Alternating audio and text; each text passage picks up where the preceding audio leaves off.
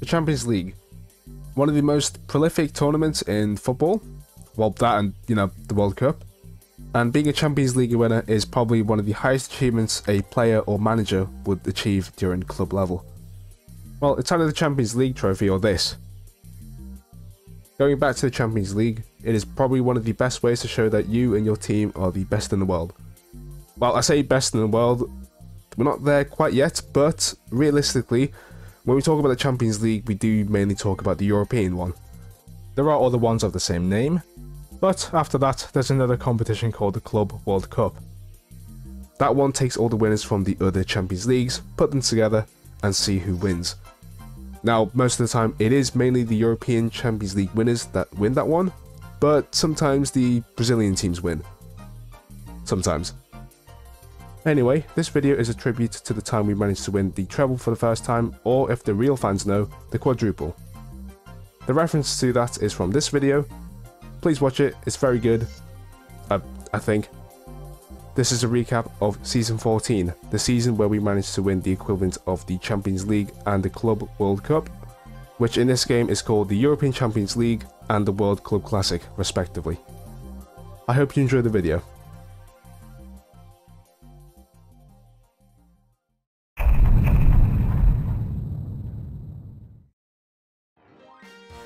Right, first game, and we're up against Artisti de Gol, the Italian team. Uh, you can't see this, but I'm using my hands to do that funny Italian gesture to tell you I'm against the Italians. Which is really funny, I guess. There's no VAR in this game, which we're thankful for, because it would have picked up this denial of a goal scoring opportunity, but we just ignore that. Instead, we go on the counter-attack, and we find ourselves quickly at their side. And we slap one in, and it's 1-0 already. It was a G.I. Jane jump. We keep pestering them, and because of that, we get a free opportunity from a free kick. Because of that, we get our second goal opportunity here. And again, very simple, 2-0, and we're just breezing past them. It's too easy, way too easy. We keep ripping their defense to shreds, which allows us more opportunities. This time, Palmer with a cannon of a right foot shoots it at Lorenzi, but he saves it. That wasn't even a cannon. Herrera with a cross, missed by two people. Milan throwing his life on the line, but it goes towards the keeper. It's the second half, and Artisti de Gol decides to put themselves into second gear. They swarm us, get themselves in front of goal, and they, they, they do a little pass, a little cheeky pass, and it's a cheeky tap in. How fun is that, huh? Well, two can play that game, let's see how they like it instead. We get close to the face of goal, take a shot, it's deflected, and it's a tap in. A nice and easy tap in. Right, I do have to cut the clip here because you won't believe me. He does grab the corner flag and throw it into the crowd, and it gets grisly, but the game continues after that. You know, after the crowd screamed in horror, but in delight because we scored. We receive yet another opportunity to score, and of course, we will take it. We give the goalkeeper concussion as well, and you, you, you, won't believe me, but they go for another celebration at the corner flag, but this time it was stuck to the ground with duct tape, so it doesn't happen again. Hope, hopefully. We're not done, however. It's the last few minutes of the game, and we still press on. We go for the attack. We get to the face of goal. One-on-one, -on -one, and it's an easy finish. With that, we end the game at 5-1, having completely destroyed Artisti de Gol and giving us a really good start to the group stages. Oh, no, never mind. We're, we're second. We're, we're second.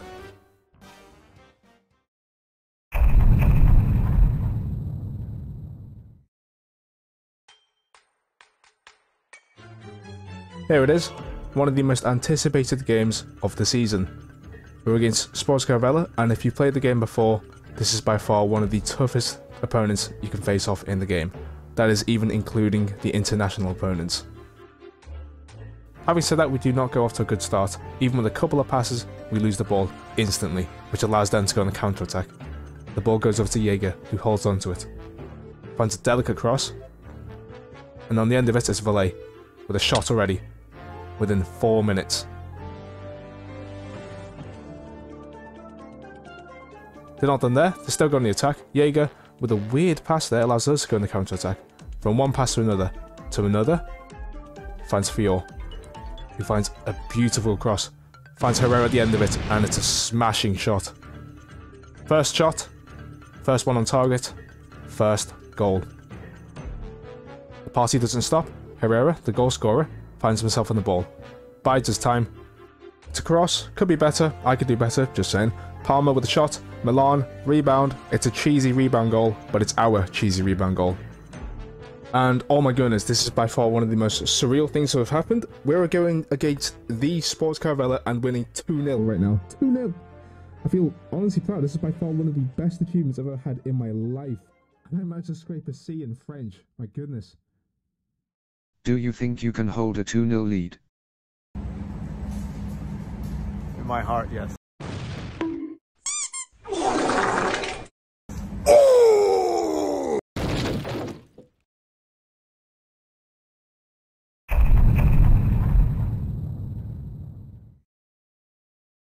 Okay, third and final game of the group stages.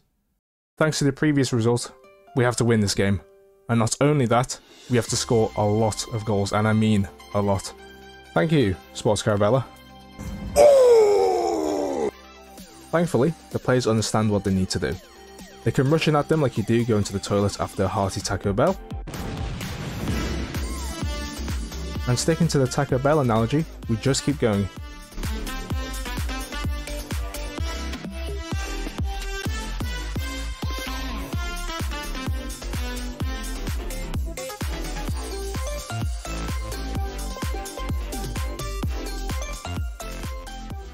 And look at the goal difference. Because of that, we go directly into the finals against Savancha FC.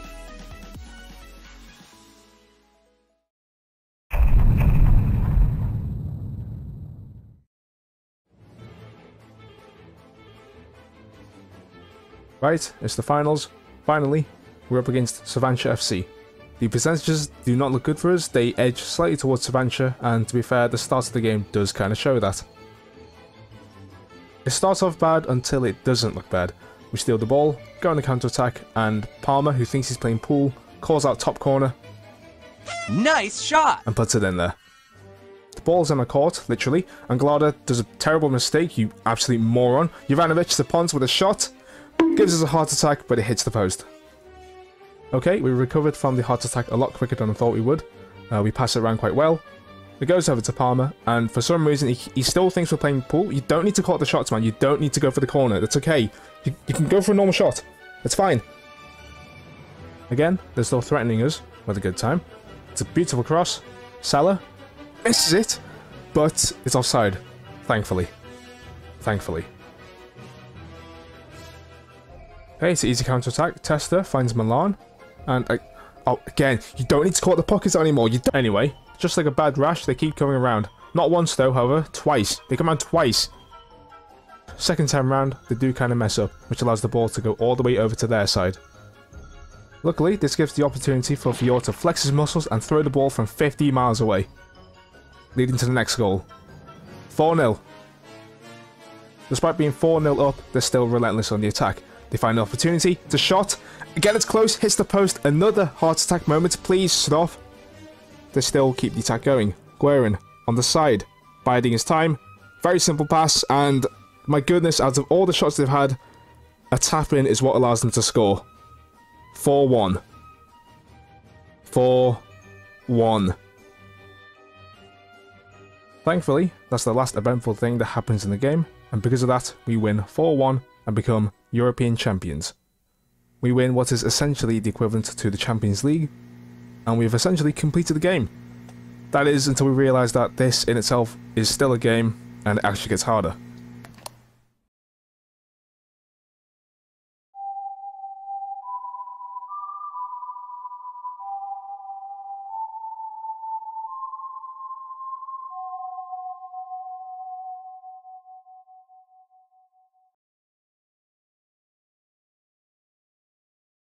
Okay, with the European Challenge Cup out of the way, meaning we've beaten the Champions League, we're now up to the Club World Cup, which is in this game the World Club Classic. And I spent way more than five takes or five. I, I can't even do it right this time, jeez. Anyway, it's time for the World Club Classic. Next opponent is Diggy Lions.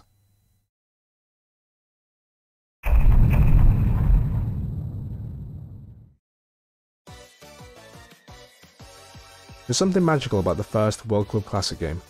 Not only is it directly after your first European Challenge Cup win, but everything is completely new. That is, new team, new stadium, and more importantly, new players. Players that are apparently so good they get into your main squad, while normally being a substitute in their original team. Diggy Lions is a good example. Their kit is really well designed, and already they're very aggressive. Scored a goal, and never mind, I hate this place.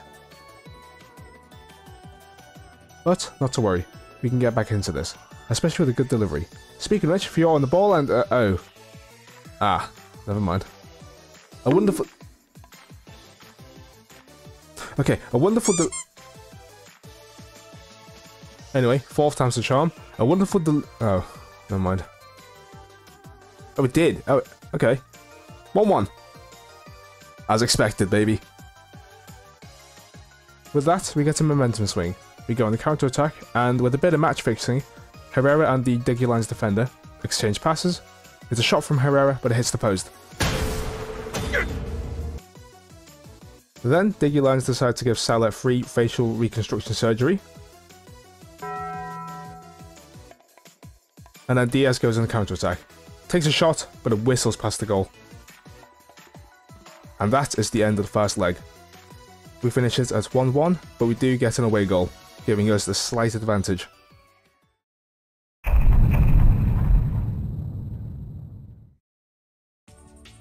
Second leg, and we're looking optimistic. Well, I hope. On top of that, we also have the fact that we have an away goal from previous game, as well as the fact that we're playing at home. That hopefully makes it easier to go for a nil-nil draw. Yeah, that's right, I'm going for a nil-nil draw. Sue me. Luckily, we do bring it to the 54th minute before anything happens. Unluckily, it's their highlight reel. And just like last leg, we concede first. That was the same player as well, Tate. And on top of that, this has to give us not one, but two. Two. Two heart attacks, man. Two of them.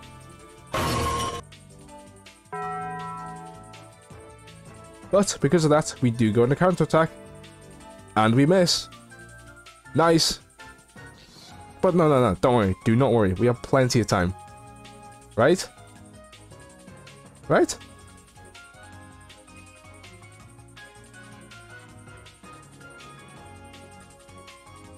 Like I said, don't worry, we are still the main characters and we must have some sort of plot armor. Maybe a free shot?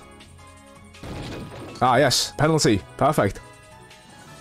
However, Michaels decides to channel his inner Xabi Alonso, misses the first shot, gets the rebound, and it's 1-1, and we drag it to penalties. Due to how insane and intense these penalties were, I don't feel that commentary is sufficient to show how I was feeling during this. Instead, I'll use sound effects to convey my emotions.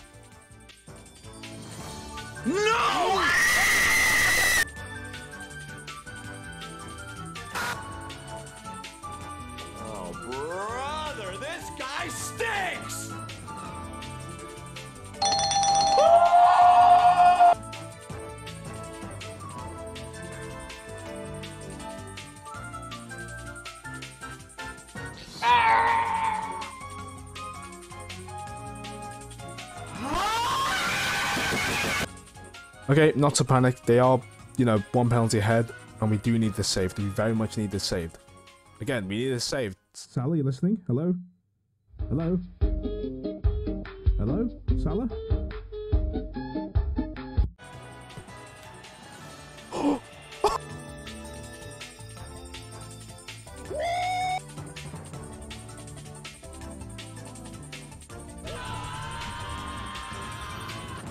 And with that, we breeze into the semi-finals. But Very easily.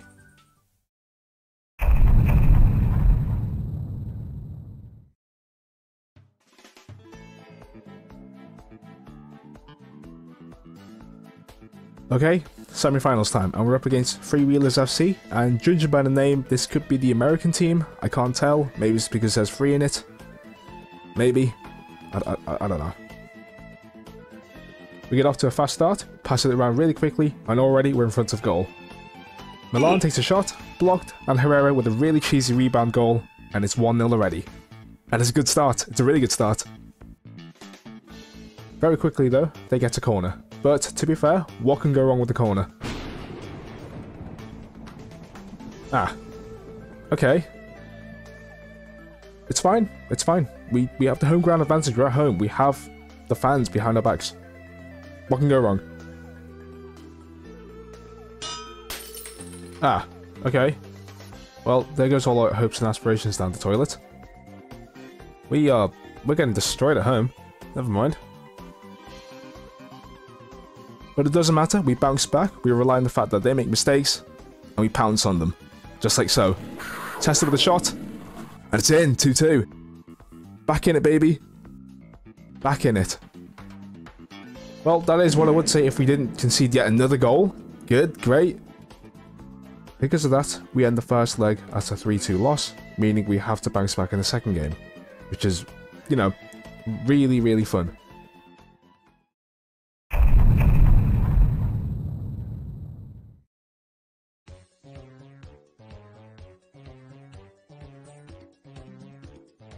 As mentioned before, this is the second leg. They have a 58% chance to win. We have 33.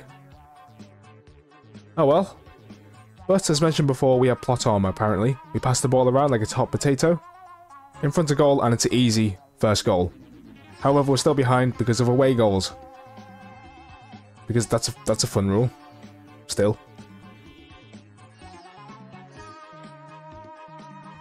However, Herrera's not done. He decides to pad his shooting stats by shooting at the keeper first, and then the goal, and already it's 2-0, and we're winning. And we are breezing past them. Herrera is an absolute nightmare for them, and freewheelers, more like. But, well...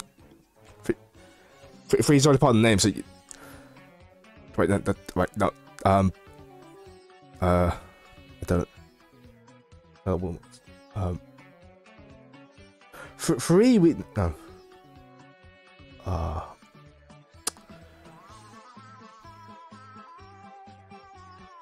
cut the clip.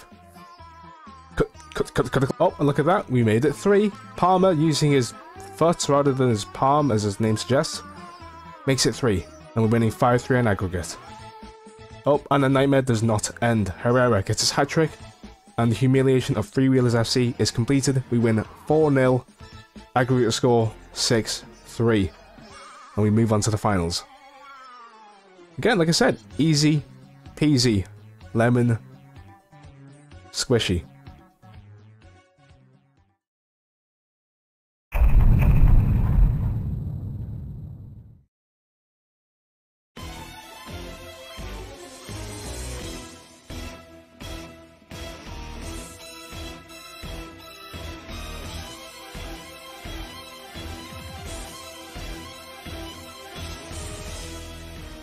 Just like always, we try to go for the first shot. We have a couple of attempts, miss all of them, literally, three shots, zero on target. Aztec, however, first shot, in fact, their first shot, on target, and it's the first goal of the game. Great. Doesn't stop there though, they keep going. They've only had two shots this entire game. Oh, never mind, make it three, and it's their second goal already. We are, we are we are not having a good time. Definitely not. okay, halftime talk. That did not go well. Uh, let's do better next half, okay? Alright, just kidding. We decided to swap our left mid and put on another striker. Hopefully, with these changes in mind, we can, you know, not concede another two more goals, I guess. More specifically, the substitutes that are used are Diaz is off for Miller, who's actually our starting left mid, and Conte is on instead of Milan, so we get another striker in our front lines. So realistically, we, we, we were just holding back, you know? Simple explanation, we, we, we were holding back. We don't want to make it too easy for them, right? Yeah. Yeah. Oh, speaking of which, here's one of the substitutes, Conti, doing a cute little trick, passing it to Palmer, and... Oh. Okay. Yeah, 2-1. See, I told you we were holding back, see? Now, the real game starts here. Is that generic enough commentary line? Right, cool. With the newfound ability of passing the ball around, we start knocking at their door. We miss the first chance, but have another. With this one, we're a bit more successful. Fior with a decent cross. Over to McHale's, and it just about goes over the keeper. And, and look at that, we got it. 2-2. And like I said, that team talk worked. We just needed to not play bad. Simple as. Simple as.